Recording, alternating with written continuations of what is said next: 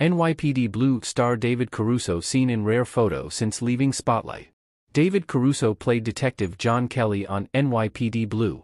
David Caruso has been seen in public after leaving acting more than 10 years ago. Caruso appeared on popular police dramas like NYPD Blue and CSI Miami, but after the latter went off the air in 2012, he stopped acting. Now, Caruso has been photographed while out and about in Miami. In the photos, he is wearing a casual blue zip-up sweatshirt, and his famous red hair has grown long. Caruso's first credited acting role was in the 1980 movie Getting Wasted. Throughout the 80s he continued to act, seemingly showing a preference for roles on crime shows. He had character arcs on Crime Story, HELP, and Hill Street Blues. In 1993, Caruso landed a lead role as Detective John Kelly on a new show, NYPD Blue.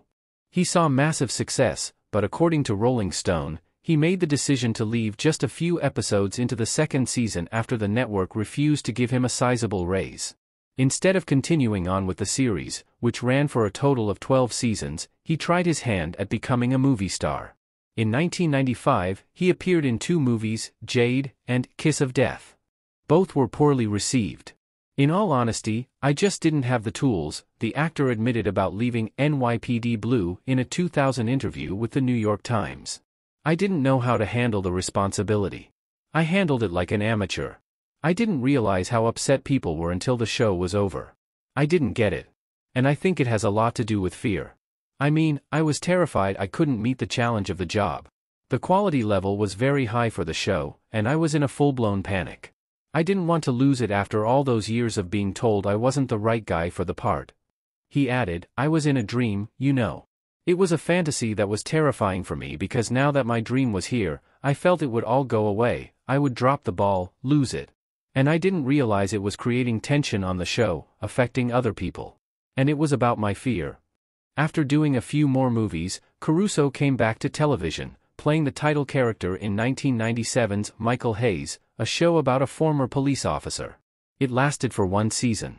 Finally, in 2002, Caruso achieved success once again with CSI Miami.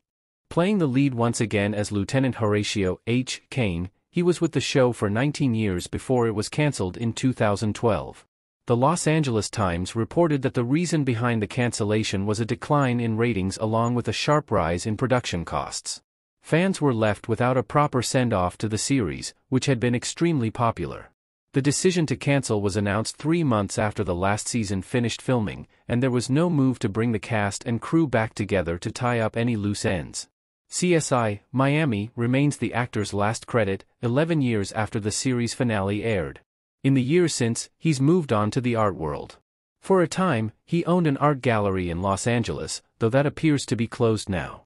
Currently, Caruso owns a clothing store in Miami called Steam on Sunset.